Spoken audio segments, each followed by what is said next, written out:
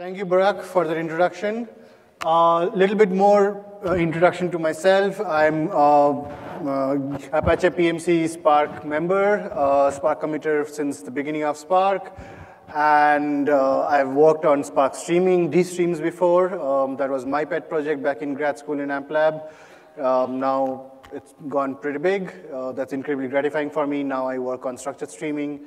And um, hopefully, uh, you find the stuff that I'm going to talk about interesting. So the way this uh, deep dive session is constructed is that um, I'm going to assume a little bit of the, uh, that you, are familiar with the basics of structured streaming and the basics of Spark SQL, base, uh, uh, basics of Spark data frames, and I'm going to take it off from there. Actually, on uh, that reminds me, actually, how many people here, can I see, can I see hands, who are familiar with Spark data frames? Ah, everyone. How many people here are familiar with Spark structure streaming? Slightly less. Okay, good, good, good. Uh, in a way, I kind of anticipated that, so I have a kind of brief introduction what structure streaming is and what it looks like. So, let's start off. So, if you're not familiar with what structure streaming is, it is basically a stream processing uh, platform built on the Spark SQL engine and the Spark SQL APIs. It's obviously fast, scalable, fault tolerant. It, it essentially provides rich, unified high-level APIs in the form of data frames and data sets. So that allows you to deal with uh, complex data and complex variation of workloads. And it, similar to all of Spark, it, uh, it has a rich ecosystem of data sources uh, from which it can uh, read and write from.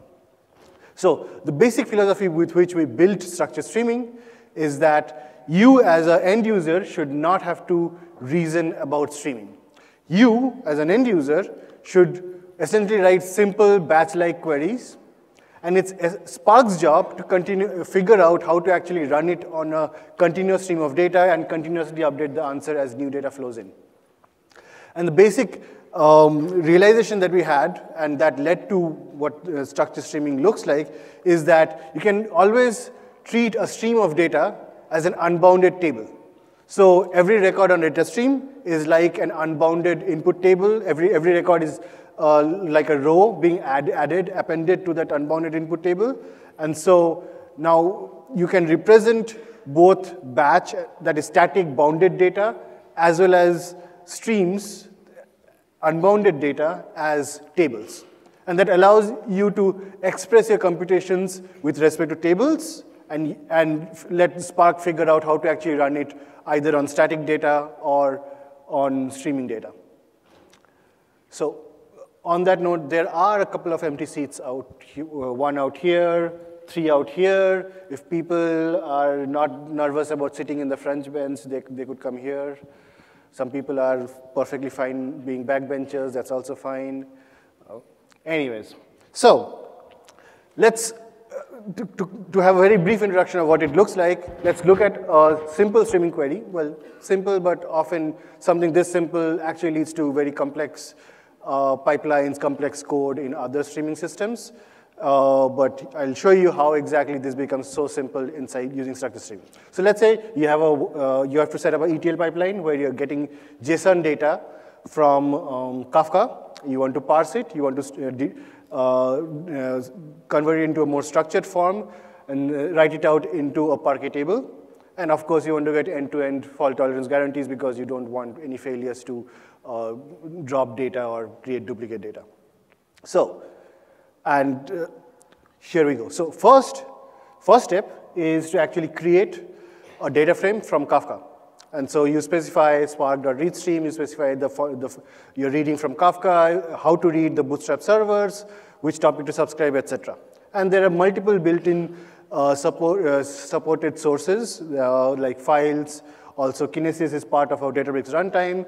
Uh, and you can have multiple input uh, streams in the same query. You can join them together, etc. I'll talk about those later. Uh, but ultimately what you get is essentially a Spark data frame. And Spark data frame is a single unified API for uh, manipulating batch and streaming data in Spark. Now, in this case, this, this particular Kafka data frame looks like this. It has basically a bunch of columns giving all the details of every record in Kafka, the key, the value, their binary values, the topic and the partition from which it came from, the, the eh, the timestamp in which it entered Kafka, etc. Now, and now that it looks like a table, you can do a standard data frame and table-like operations inside Spark to actually parse it. For example, first of all, I, the, the data is binary. I need to cast it to a string, then uh, parse that string into JSON with this uh, built-in function called from JSON. Uh, all of these standard manipulations. And, and, and, and that's this cool thing about Spark that it comes with hundreds of built-in uh, SQL functionalities that are designed to be simple to use and st standard semantics and incredibly fast to execute because we do all the underlying uh, fancy code generation, et cetera, to make them really fast. Finally, after, uh, now that you have the parse data, you want to write it out to a Parquet table. So that's where you specify the format Parquet, the, the path to which you're writing to, and uh, there are, there are built-in support for files, Kafka, and you can add your own arbitrary logic to write it out to arbitrary data sources by uh, this thing called for each, where you, you can do whatever operation you want on every record. And then finally, you want to specify how to exactly run this query, which is I want to trigger it every one minute. I want to uh, I wanted to checkpoint all the information, uh, all the metadata and data, whatever needs to checkpoint to restart from failures into a given location.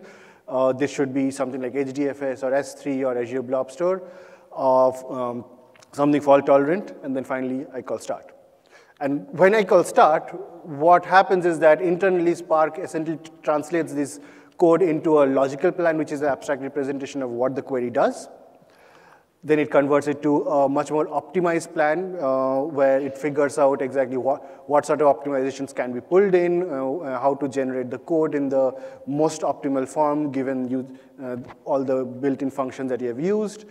And then from that template of an optimized plan, it generates a continuous series of incremental execution plans.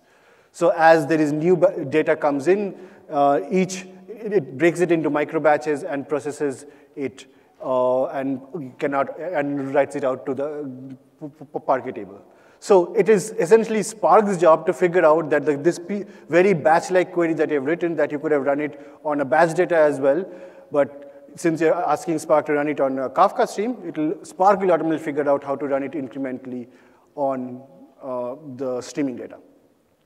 And with checkpointing, uh, you get complete fault tolerance guarantees because, and because what it does is that at the beginning of every, every micro batch, it will write out the uh, offsets from Kafka it is going to process into a write-ahead log so that if in case of any failure, it can exactly reprocess uh, the same range of data in exactly the same deterministic manner. So you get end-to-end -end exactly one's guarantees. And so, so with this and with this few lines of code, what you have is essentially an ETL pipeline where you're reading from Kafka and writing out to Parquet, and you're essentially your raw, unstructured uh, binary data encoding JSON is now available in a structured Parquet format uh, within seconds. And of course, you would have some of the uh, standard problems that Michael was talking about in the keynote, the small data uh, small files, etc. But that's where Databricks Delta comes in because if you write it to Databricks Delta, you can solve all those problems.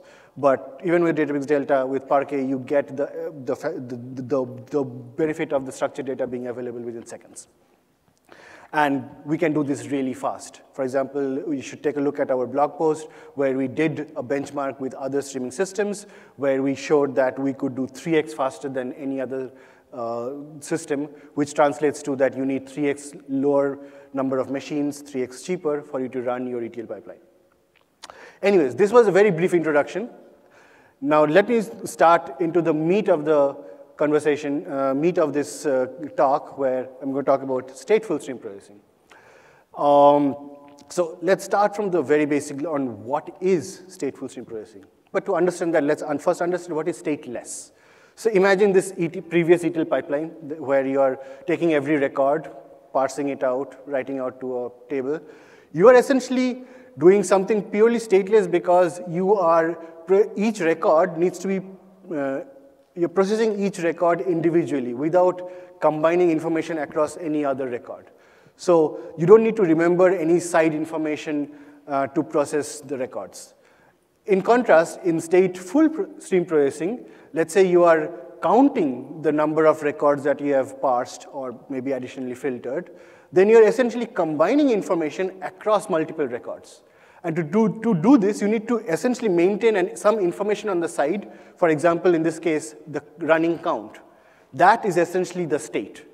And, and, and some of the major challenges of doing stateful stream processing is that how do you make sure that this state, that this information you're keeping on the side um, is fault tolerant? And how do you figure out that how to, re- when you're restarting, if, if there's a failure, you're restarting your query, how do you figure, uh, how do you load the exact same version of the state where it failed and things like that?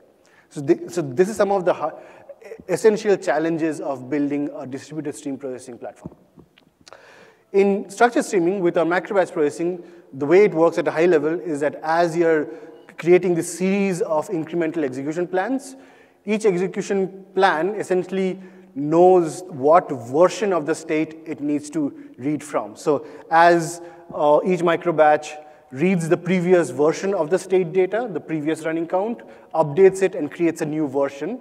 And each of these different versions essentially gets checkpointed out into the same checkpoint location that you have provided, where the, the Kafka offsets are written out. Now, uh, and so, and, and, and with this, the fault recovery uh, becomes uh, um, absolutely seamless and synchronized with the offset, etc. So it, needs, it knows exactly where it can uh, restart from.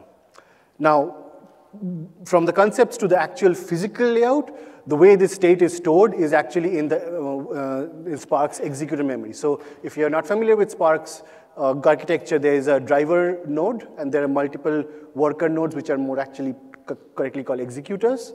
And these, these executors are the one that run the tasks that needs to uh, that, uh, that processes the data. And the state is stored in the memory of these tasks. And when as these, these tasks are launched for each microbatch, the state is updated, and any changes to the state are versioned and checkpointed into HDFS into the whatever checkpoint location you have provided. So overall, it gives the same exactly once fault tolerance guarantee as stateless computations. Anyways, this was a very short introduction of how exactly state is works physically. Now let's talk about how, how you can actually uh, what, is our philosophy of exposing this state to the end users to act in the form of stateful operations? Now, in the, in the, in the data frame API, there are a number of stateful operations which can be roughly categorized into two categories. There are stateful operations that have automatic state cleanup, and then there are stateful operations where uh, there are user-defined state cleanup. Let me elaborate. So for operations, which are standard SQL operations, uh, the semantics of the operation is absolutely clear. For example, if you're counting, then you know exactly how much, uh, what it means if you're, um, what it means and when your uh, data and the state data is old enough that you can clean up and stuff. It knows, and it know, you can reason about all of that and automatically clean up old state. Whereas um, for arbitrary non-SQL-like operations that you may want to do, uh, the state cleanup is not automatic because what we want you to do, is, give you is essentially the full power of stateful operations um, so that you can control precisely what to keep, what to throw out, etc. And I'm going to, in this, the rest of this talk, I'm going to explain all of these, so hold tight. So to, to give a very high-level overview, the aggregation deduplication joins have automatic state cleanup where you really don't need to worry about state, and you can just specify watermarks, and it'll, the Spark will handle everything else. And then there's, uh, for arbitrary state computation, there's map group with state, flat map group with state, uh, where you have full control on doing um, state cleanup yourself. And so the rest of my talk is going to be basically um, explored these built-in stateful operations, how to use watermarks to, uh, to do automatic or uh, custom state cleanup, how to build these arbitrary stateful operations, and finally, and, and probably the most important, how to monitor and debug these stateful operations. So the way I'm going to construct this is that uh, at, at some at, at, roughly the end of the session, I'm going to stop at some point and then continue from there. So let's see for in whatever time is left in this session, let's see how much we can of this uh, talk we can cover. So the first step, and, the simplest one and the most used one is streaming aggregations. And you already saw the simple count as an example. You can also aggregate uh, by, uh, by key. You can aggregate by a window on a timestamp inside the data. So that is essentially uh, you're aggregating by the event time. And you can also aggregate by both uh, some arbitrary key and, and uh, the event time. So, so as you can see, the aggregating by event time is simply just applying a window as, as if it's, the window is additionally another key. And you can specify the window length, as in this case 10 minutes, also the window sliding interval that uh, I want uh, to aggregate by windows of 10 minutes moving every one minute, things like that. And of course, there are built-in aggregations. There are, uh, you, can, you can write your own custom arbitrary aggregations, user-defined functions and stuff. Now, with these windowed aggregates, uh, what happens is that the way this is constructed, it, it very naturally and um, takes care of uh, late data because for every aggregate window, it's, it's like a bucket. You're, as soon as you receive data for a particular new uh, time window, let's say for the next hour, you automatically open up that bucket and start counting the number of records falling in that bucket. And now these buckets stay open. So even if a data that comes maybe five hours late that belongs to a bucket five hours old, it will just go ahead and update and, uh, that bucket by incrementing the count of a old bucket. And that's what's happening in this timeline, that even if data comes in late, it just happens to update an older bucket. But with this, uh, the size of the state will continue to increase indefinitely because you really don't know when a bucket can be closed because, uh, because in practically the query is not going to receive data that is maybe five days old. So and to specify that information to the streaming query, that is where we have watermarking. So watermarking is essentially a moving threshold of how late the data is expected to be when we drop, and, and, and, and, and accordingly the system can drop the old state. So the way it is defined is as follows. So imagine at any point of time in the data you have seen a particular, the event time inside the data, you, uh, you have seen the max event time as let's say 12.30 p.m. right now. Uh, this watermark which you specify by specifying this trailing gap, say 10 minutes, is essentially a moving threshold behind the max event time. So at this point of time, when the max event time is 12.30, the watermark would be 12.20. And the engine automatically tracks this. And so what happens is that data that is older than this watermark will be automatically dropped. So let's say uh, you, um, your data may be suddenly, some a very small fraction of the data may be older than 10 minutes, but the data is already too late for you to take any decisions on it, so it will automatically drop that data. And uh, any data that is late, but not later than 10 minutes, would be allowed to aggregate. So buckets of the buckets I was talking about would still be kept open for that 10-minute duration. But any data that is older than that will be dropped, and those buckets would be automatically closed and cleaned up because that the, the corresponding count is not going to be uh, not going to change anymore because any data later than that threshold, we're going to drop it anyways. So that's how in, in uh, the state cleanup happens automatically in aggregation. just curious, is there a way to capture instead of delete data that's? That's a good question. Let's talk about it offline. Let's hold all the questions to the end of the second session. Okay, so uh, so to, to, to, do watermarking, all you have to do is just call this thing called with watermark on your data frame, specify what is the event time column, and uh, then specify the watermark delay, and that's it. Now, uh, for streaming queries, which does, which does not have any stateful operation, this essentially is completely ignored. For non-streaming queries at all, for like if you, if you write this data frame operation in a batch query, and apply it on a batch data, then it just is completely ignored as well. So you can always add this, and then your query, when if, if it's running on batch data, it'll work. If it's running on streaming data where there is actually delays, it'll work as expected as well. And at runtime, when the, the, the engine would automatically scan all the data and figure this out. For example, um, it'll, it'll automatically figure out what is the event, max event time the system has seen, uh, and accordingly calculate the, the, the watermark threshold, which is the red line.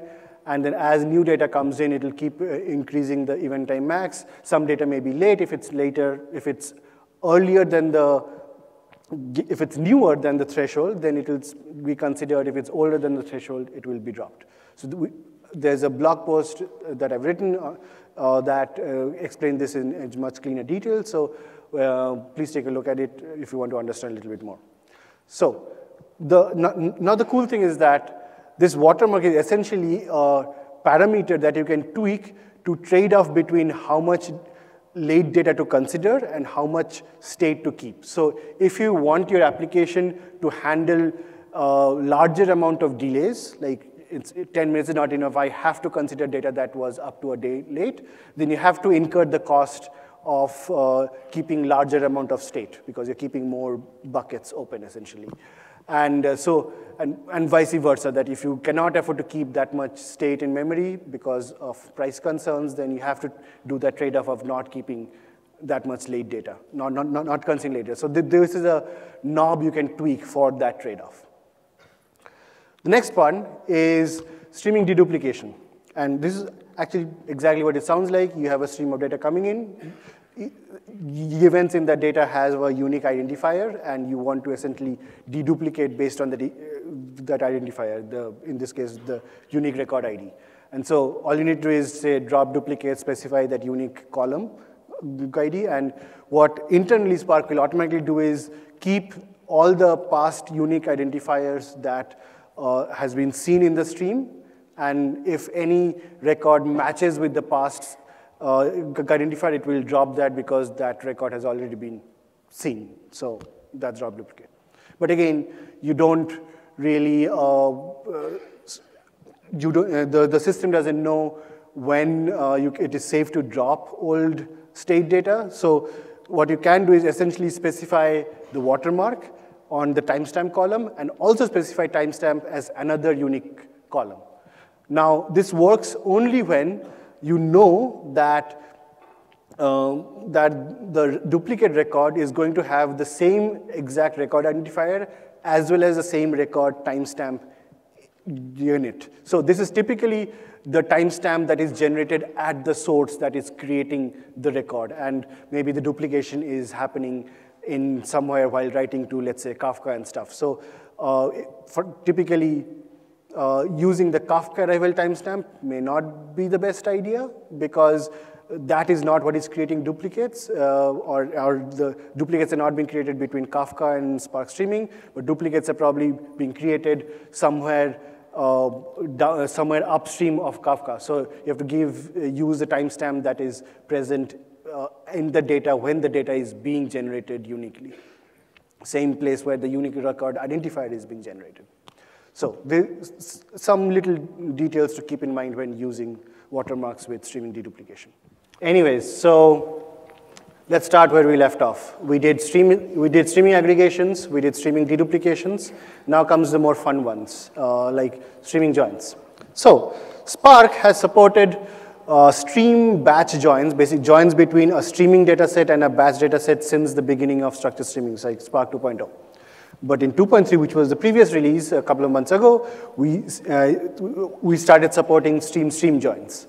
And to understand what stream stream joins is and how it works, uh, let's start with a very canonical example of ad monetization. Basically, you have a stream of ad impressions of when the ad was showed, and you have another stream of ad clicks on who clicked on which ad. And essentially, you want to join them by a common ad identifier so that you know that which uh, impression of the ad led to a click, therefore needs to, someone needs to pay someone else. So now this is this conceptually, while it's a simple idea, the real complexity comes because of delays in when the impression arrives and when the click arrives. So most of the time, the click is likely to arrive at your data center or your application after the impression, after the ad was shown, because it was generated after the ad was shown. But sometimes due to delays, what happens is that the, the click, the impression uh, may arrive much later after the click. Random things happen. Now, to deal with these random delays, the the streaming app needs to essentially buffer the clicks and the impressions for a sufficient duration so that it can be sure that it sees when there actually is a, a successful join, that is when there is actually a click and a, and a corresponding impression. So to do this sort of uh, buffering, then it is naturally a stateful operation, where the, the state is essentially the buffer of ad uh, impressions and clicks. And so let's see how to actually express this using data frame joins. So let's start with a simple inner join. So you have impressions, which is a streaming data same uh, streaming data set or data frame, and uh, joined with clicks, which is another streaming data frame data set. And you're saying that you, the click ad ID should be equal to the impression ad ID. That's it. What the system will automatically do is it will buffer all the past clicks and all the past uh, impressions such that uh, it can match. But again, similar to streaming aggregation, if it has no idea when data is actually old and can be thrown out, the state is going to continue growing indefinitely. So to allow some of the buffered data to be actually dropped, you need to provide in this query additional time constraints, just like watermarks, but this requires some additional stuff, and that's what I'm, that, and, and, and that what makes this very interesting. So these additional time constraints can be like this. So let's assume that your impressions can be at most two hours late because of delays in the network and stuff like that.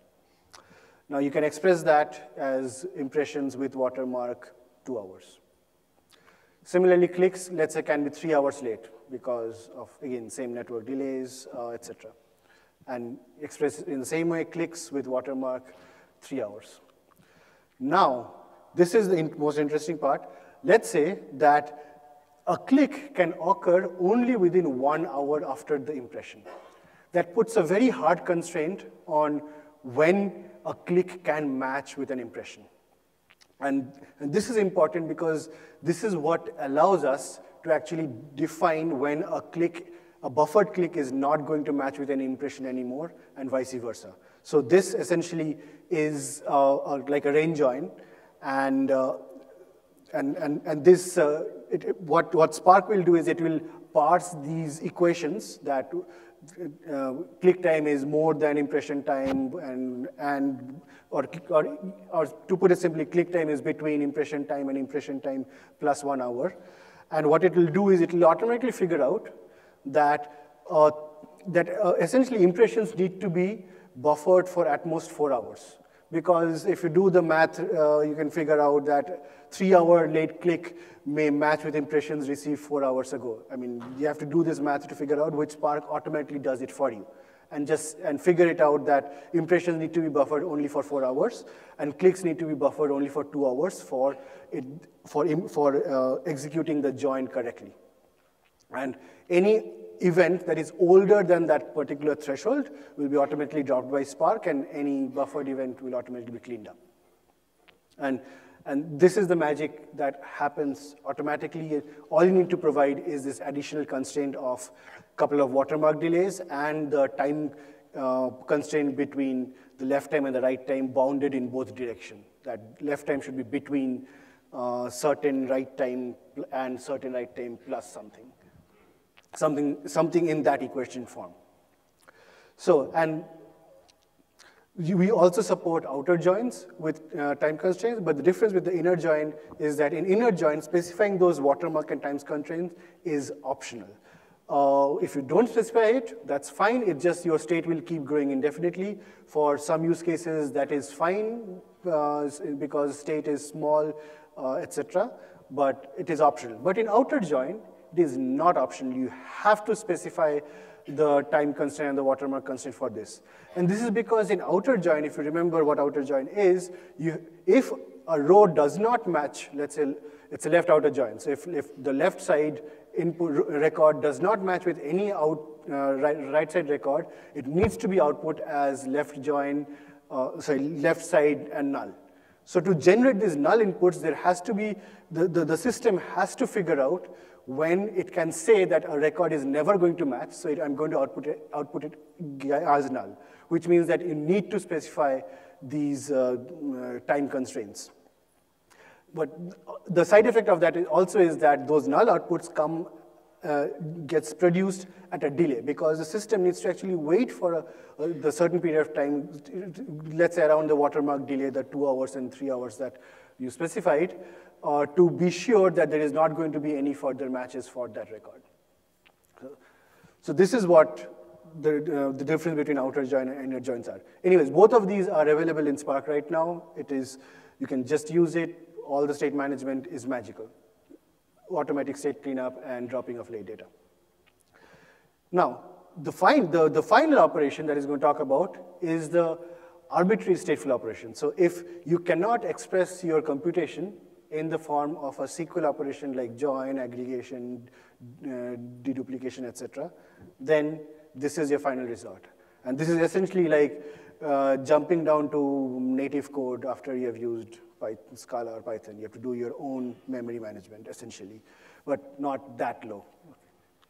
Um, so, so uh, typical uses are uh, like user tracking, sessionization, where you want to basically track, let's say a user is, uh, has come to your website and is clicking on stuff and you want to track the user's movement to understand what uh, products the user may be interested in. So you, uh, uh, to kind of simplify the problem, let's say you want to uh, track user actions, logins, clicks and stuff, and you want to essentially maintain uh, the, the current user status on what the user is currently actively doing.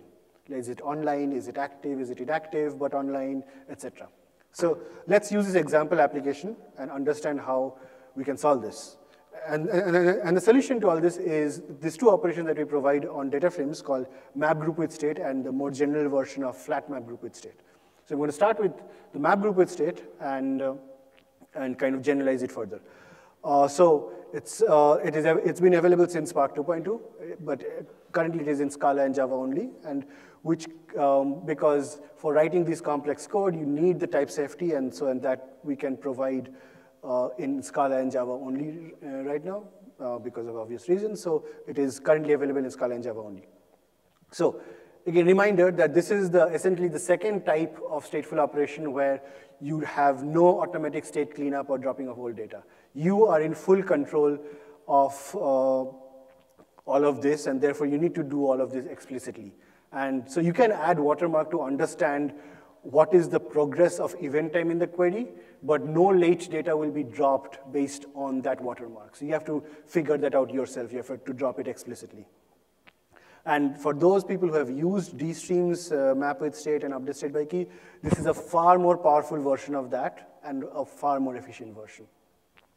So let's start. How do you use map with state? So I'm going to break it down into a few steps. And, th and this is how you should think about your problem. So step one, define your data structures. So what is the input event? Is it a bunch, it's a bunch of user actions. Let's figure out what the data structure looks like. It has a user ID, it has some action. Um, then what is the state you want to keep for every user, which is essentially the user status. And uh, again, user ID, let's say you just want to track whether it's, he's active or not and what you want to output. Now, this can be different from the user status, but let's keep it simple. Let's say every time I update the user status because there is some new event for that user, I'm going to output the latest user status for writing it some other place. Okay. Step two is define your state updating function. Now, this function essentially needs three inputs. One is the grouping key, which is the user ID, because that's what you're grouping the whole thing by. Uh, it, it is a generator of new data, new user actions, and what was the previous state, which is in this case, the previous user status. And using these three inputs, you can uh, compute what the next status is going to be based on the new actions that you, that you have received. And it's Spark's job to actually call this function over and over again for every group as new data comes in.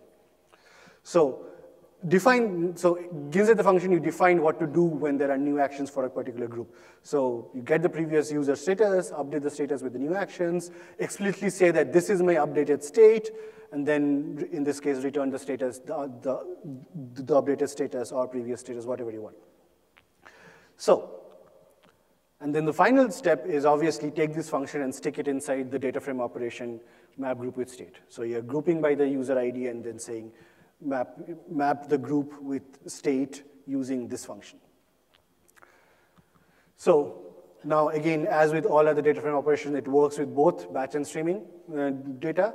In batch query, it essentially has no prior state uh, and will not going to use any uh, updated state ever because everything is called on the function with all the data for the, each group. So it's essentially boils down to something like data frames uh, map groups. That's it. But it completely works. So you can use static data to test your map grouping function as well as um, run it on streaming as well. So now, what happens if, since you don't have any state cleanup or anything, uh, you have no idea when to actually clean up the state. Let's say, for example, the user was inactive for a long period of time. Practically, he has essentially uh, been signed out. So there was no event from the user because he did not click sign out. So what happened, how to deal with that? And that's why we support timeouts. And there, uh, when a group essentially does not get any, any data for a, a substantial period of time, then the function that you've provided will be called again. That is, when you're hitting the timeout, the function will be called again, except the, the new actions, the second parameter of the, act, the, the iterator of user actions will be an empty iterator. And so using, but that in that, when that function is called with an empty iterator, essentially you can do whatever action is needed to essentially sign off that person and, and say, I'm, and uh, clear of the state because you don't want to track that user anymore because he's not active anymore.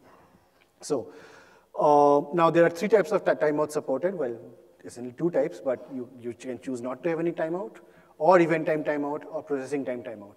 So the event time timeout essentially uses the event time in the data, and processing time timeout uses the wall clock time of your cluster, essentially. Now, again, timeouts completely ignored if you run the map group with state as a batch query. Eh, how to use event time timeout is basically you just specify the event time timeout as the type of timeout for the entire query. And you have to enable watermarking because that's what is going to track the event time and use that. And and then inside the mapping function, you need to actually, for every group, specify uh, the timeout duration. So the event time timeout as a type is for the entire query, like all, for all the, across all the groups, whereas the, the timeout duration can be specified to be on a per group level. So depending on maybe the type of user, you could have a one hour timeout or a 10 hour timeout. So premium user versus freemium user. You can think of use cases more than me. Um, so, uh, so, so you need to specify that. And, and then um, when timeout actually happens, you can detect that by this uh, handy uh, methods called has timeout and stuff. And when it has actually hit the timeout, then um, you can just clean up the state and by saying state.remove. But if you haven't hit the timeout, then every time the function is called, you need to specify the timeout. You need to kind of reset the timeout because the timeout is kind of cleared every time new data is received. So that's something you need to keep in mind when you're using timeouts. And the way the event time timeout works is that the watermark is calculated based on the max event time, et cetera, across all the groups. When one particular group does not receive data, but the watermark has moved for the timeout duration for that group, then the function will be called on that group with has timeout set to true and an empty iterator and stuff. Otherwise, the function will keep getting called with whatever new data, and every time the function is called, the timeout that you set previously is, is reset and you need to set it once again. So that, and this is designed such that you have full control every time to update the timeout based on what your current state is or user status is and stuff. The processing time timeout is actually far simpler, uh, where you just wait for the wall clock time if the, a particular group has not received any data for that time period in the wall clock in real world time, um, then do whatever is needed. Same, the function will get called with empty iterator and has time dot set to true. Uh, but it's, it's important to remember that this is strictly dependent on the wall clock time. Uh, so if it so happens that your query uh, failed or you stopped the query and, and um, restarted it one hour later, then you will see a whole flurry of processing time timeouts because it was down for one hour. So things must have timed out. And that's the semantics. So you have to pick and choose what you want, in what type of timeout you want. So this was map group with state. The flat map group with state is essentially a generalization of that, where in map group with state, you basically have to uh, return one object. In flat map group with state, you can return multiple objects in the form of an iterator, which can also be empty. That is, you, you, want to, you, you may want to update the state and there is nothing worthwhile returning, so you may choose not to return anything in that particular function call. So that's essentially the generalization and stuff. There are, there, there are other uh, more detailed things that, um, uh, that are present, like things like output mode, where it gives actually a little bit more information about what your function uh, is doing. I, is your function, the, the, the items that the, your function is generating, are they like new rows being appended, which is essentially the append mode, or are they like each item inside the what is returning is essentially like updating the previous value. And based on that, you can essentially um, the, the, the, engine can figure out how to optimize the query and how to write it out to external systems. Should, I, should, we, should it continue to append all the rows or should it update out into an external storage system and stuff like that? So these are, again, the super advanced stuff and uh, please look at my blog post for really understanding these and stuff. So anyways, these are all the stateful operations. Hopefully you understood it. Please play around with it to, for better understanding. There's obviously the, the programming guide and their blog posts to actually uh, uh, explain some of these in more detail. So the next step and is, is how to manage the streaming queries.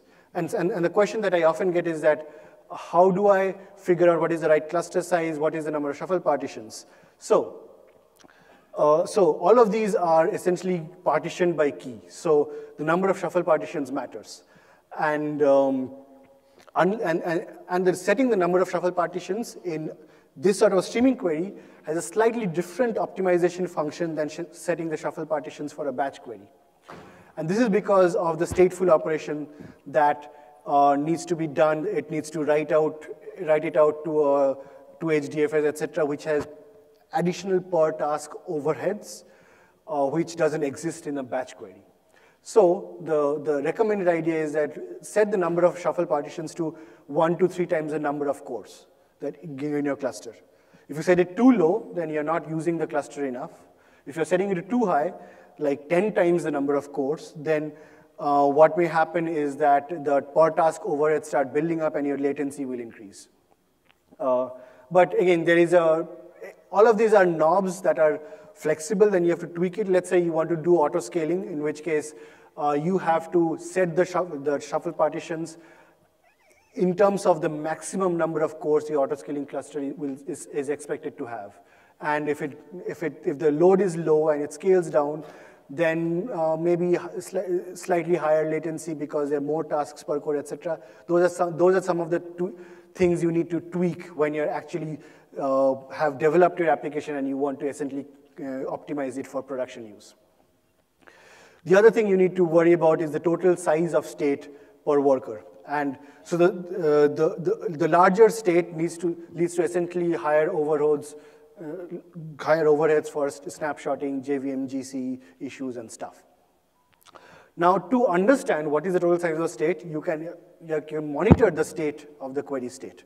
So there are a couple of ways. One, you can, you can actually get the current state of the state, like how many state keys, what is the memory used, etc., just by uh, using the query handle and saying query.last progress or query.recent progress, which gives you a, a JSON or uh, got a struct of a lot of metrics, including rates and stuff, including the current state of state operators, how many rows in the state.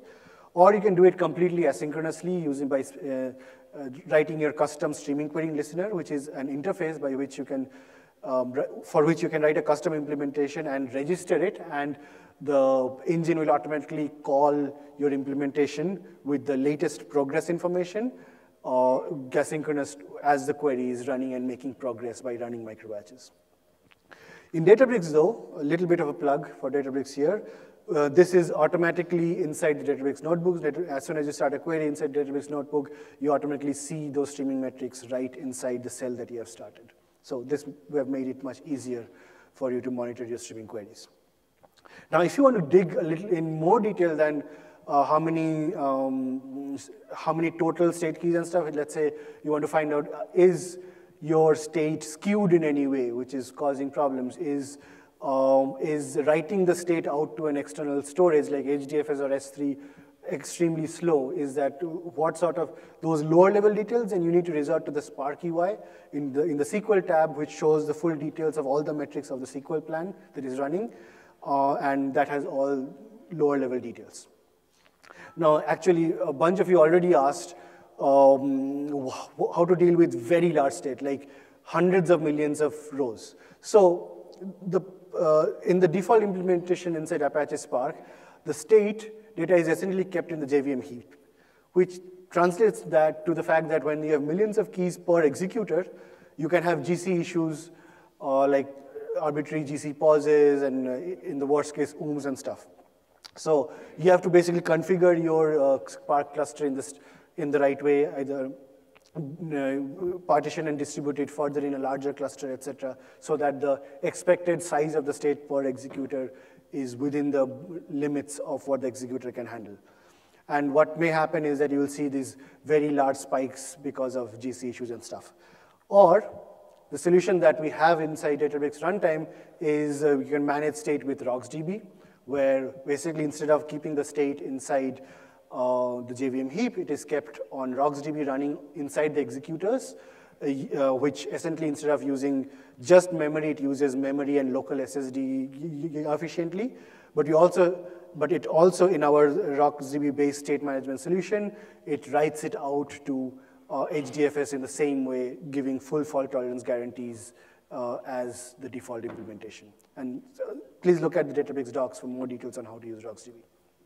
Anyways, I'm, I'm, coming very close to the end of my talk. So a little bit about what the future looks for us. So a major initiative right now that is happening in, in structured streaming is continuous processing, which, which we announced in, in, in Spark 2.3 as an experimental release. And it actually can give millisecond level latencies by running it not in micro batches, but in actual true streaming fashion. Uh, so this is the, like, the next big one of the next big thing that is happening in structured streaming, and we're going to push towards this, and we can, and, uh, and my colleague Jose is going to talk more about it in today at uh, 2 p.m. Please go and learn about continuous processing with the talk, and we've also blogged about it. So, uh, and this affects all these stateful operators as well, because we want all of these shuffle and stateful operators to work uh, with continuous processing mode, which in Spark 2.3 doesn't, so we're, we're working towards supporting all of them. So that is something is what is exciting us right now and that, we, that, that is keeping us really motivated and passionate about uh, providing millisecond level latencies for even for stateful operations. More information is on uh, the programming guide, Apache programming guide, Databricks docs. Please look at our blog posts for more detailed deep dives into each of these items. Um, and and if you want to learn more about just the basics, like more about what sources are supported, what things are supported, how to use those, please take a look at my previous talk on the basics of structured streaming, where I talk in about Kafka, Kinesis, etc.